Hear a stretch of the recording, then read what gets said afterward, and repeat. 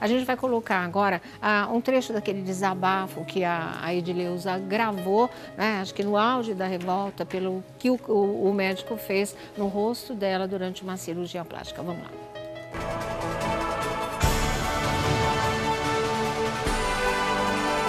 Por que não entrou com corticoide? Meu Deus, dorme falar.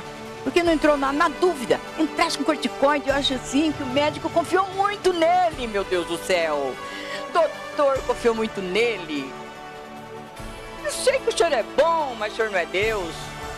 Por que tem o corticoide, não entrou com o corticoide, meu pai do céu? Por que, que não deu o antiviral, minha Nossa Senhora Aparecida? Eu sou apresentadora. Eu faço show, eu faço de tudo, eu faço jornal, eu sou publicitária. Acabou com a minha vida, gente. Pelo amor de Deus. Porque pensa aí, o senhor parado dentro dessa casa sem fazer nada. Eu gosto de escrever, nem escrever direito eu posso escrever, porque eu não consigo enxergar. Até o olho. Aí o médico falou, Dona Idiria, seu problema é que o médico esqueceu do olho, o olho da senhora fazer um enxerto.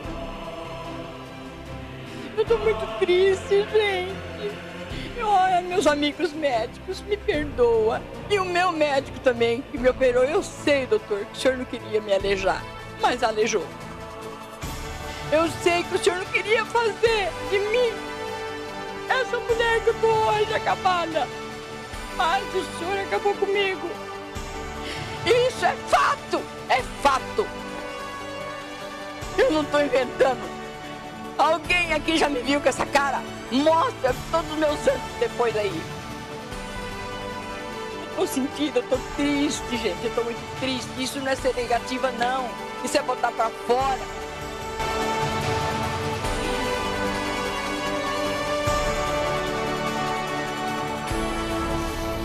Pois é, né, gente? E é, é essa história. A gente quer justiça para esse tipo de coisa. Quem faz uma coisa dessas não pode ficar impune, nem ela pode ficar desamparada, bancando sozinha uns custos, o custo de um tratamento né, que ela tem que fazer para corrigir erros que não foi ela quem cometeu. Então, ninguém indeniza, nem hospital, nem médico, tudo é sozinho. Então, é uma coisa absolutamente revoltante. Já já ela vai contar pra gente quando ela decidiu gravar esse desabafo e por que, que ela diz ainda: Eu sei que o senhor é bom, mas não é Deus. Eu perdoo o senhor, eu sei que o senhor não quis fazer isso no meu rosto. Oh, meu Deus do céu, se não quisesse fazer isso no rosto de uma pessoa, seria um médico absolutamente preparado. Acidentes acontecem, mas isso não é um acidente. É, um, isso é uma barbeiragem é, um dos daquelas. Laudos aqui, um hum. dos laudos diz que houve negligência. Exatamente. Então, quando ela diz assim, eu sei que o senhor não queria fazer isso no meu rosto, rosto, não é bem assim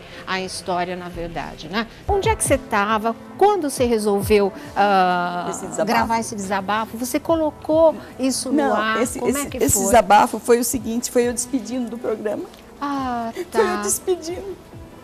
Foi meu último programa. Ele não tá só isso, ele tem mais parte. É que foi mandado uhum. só um pedacinho para vocês. Certo. Mas tá, mostra, meu foi Deus, a mostra vez muitas festas, mostrou... mostra eu, no, no, meu ah. Deus. Então. E foi aí, a primeira vez que você sim, mostrou seu rosto para o público, como ficou? Sim, foi uhum. a primeira vez que eu mostrei como é que. Como é que porque eu não queria, porque às vezes as pessoas falam assim, por que não, não mostrou antes? Eu estava hum. dando tempo, eu estava dando um tempo para o médico, né? Também. Porque daí, sim, hum. eu ainda tinha, eu queria. Eu não queria, eu não queria o dinheiro dele. Não é isso que eu quero, eu quero ganhar dinheiro com, com o meu suor. eu sempre trabalho. ganhei com o meu suor. Agora o que, que ele falou? Só que tem que ter um castigo, meu Deus do céu. Não adianta entrar contra o médico se a gente já sabe que ele vai, vai rolar seis anos, dez, e eu vou morrer. Eu tenho 65 anos e daí quem sabe vai receber são meus filhos, né? Vai ficar aí. Agora, Edileuza, aqui, eles, eu não vou fazer eles nada. dão, o que, que eles adianta dão, fazer?